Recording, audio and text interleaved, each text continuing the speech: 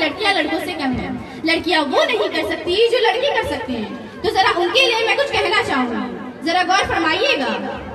क्या हूँ मैं? कौन हूँ मैं? बस यही सवाल करती हूँ मैं। तुम लड़की हो, तुम बेचारी हो, तुम लाचार हो। बस यही जवाब सुनती हूँ मैं। जब बड़ी हुई, समाज की रस्मों को जाना, पहचाना, अपने सवालों का जवाब मैंने खुद में ही पाया। मैं लड़की नहीं, मैं बेचारी नहीं, मैं लाचार नहीं। मैं था जब समाज औरतों को पढ़ाई के लायक नहीं समझता था। आज भी ज़्यादातर लोग यही समझते हैं। लोगों को क्या लगता है कि कुछ औरतें पढ़ लिख के आ गई उनकी और मर्दों की ज़िंदगी एक बराबर हो गई। लोग जानते क्या है औरतों के बारे में? हर कदम पे एक ऐसे सवाल उठाती है जो एक आदमी कभी सोच भी नहीं सकता। आज औरतें पढ़ लिख कर आदमियों से भी आगे निकल रही हैं। परीक्षाओं में टेन पर ज़्यादातर लड़कियाँ ही आती हैं।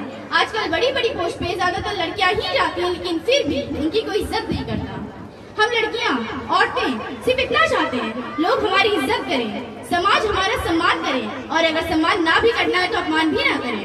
अरे सुना है, परिवार की जिम्मेदारियाँ का बोझ बड़ा तो रिक्शे से ट्रेन तक चलाने लगी है बेटियाँ अरे सुना है ज़मीन से अंतरिक्ष तक जा पहुँची है बेटियाँ। अरे सुना है, लोगों का इलाज करती है बेटियाँ। अरे सुना है, हवाई जहाज़ तक चलाती है बेटियाँ। अरे सुना है, लोगों को इंसाफ दिलाती है बेटियाँ, पर वह खुद इंसाफ नहीं पा पाती।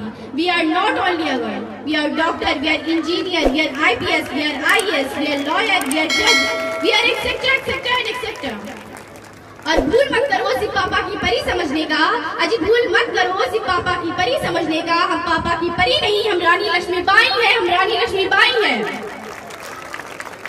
और हम लड़कियाँ जो पढ़ना चाहती हैं, जहाँ जाना चाहती हैं, जितना भी पढ़ना चाहती हैं, उन्हें वो सब कुछ करने दें, उन पर कोई रुकावट ना डालें, किसी भी तरह का दबाव ना डालें। क्योंकि जितना अधिकार समाज में लड़कों का है, उतना ही अधिकार लड़कियों का भी है। बस सबकी अपनी अपनी सोच है। लड़के पढ़ना नहीं चाहते, लेकिन लोग उन्हें ज़बरदस्ती पढ़ाते हैं। लड़कियाँ पढ़ना चाहती हैं, लेकिन उन्हें कोई नहीं पढ़ाता। यह कहती है कि तुम्हारे लिए किस की पढ़ाई। जबकि लड़कियाँ ही अपने माँ बाप का नाम रोशन करती हैं। अगर कल्पना चावला, किरण बेदी, संतोष यादव जैसी महिलाएँ ना होती तो इस देश का नाम रोशन कौन करता? कभी सोचा है आप लोगों ने? कोई जवाब है आप लोगों के पास? कौन कहता है कि लड़कियाँ सिर्फ़ घर चला सकती हैं? अजी, कौन कहता है कि लड़कियाँ सिर्फ़ घर चला सकती हैं? अरे जनाब, अगर बेटी हो इंदिरा गांधी जैसी तो पूरा हिंदुस्तान चला सकती है। तो लोग कर्जा उठाते तो लड़कों की पढ़ाई के लिए और लड़कियों की विदाई के लिए। लोग लड़कियों को पढ़ने के लिए कभी दूर नहीं भेजते, लेकिन उसी लड़की की शादी करके कहीं भी भेजने के लिए तैयार रहते हैं, जबकि वहाँ किसी भी चीज़ की गारंटी नहीं होती। बाहर विदेशों में लड़कियाँ लड़कों से कंधे से कंधा मिलाकर पढ़ाई करती हैं, उन पर कोई रुकावट नहीं, किसी भी तरह का दबाव नहीं है। लेकिन हमारे भारत में लोग लड़कियों को कमज़ोर, नाकाम समझते हैं। उन्हें यह लगता है कि लड़कियाँ कुछ कर नहीं पाएँगी, समाज का सामना नहीं कर पाएँगी। इसीलिए, बस इसीलिए हमारा भारत हर मामले में पीछे रह जाता है, और हम कहते हैं कि हमारा भारत बहुत तरक्की कर रहा है।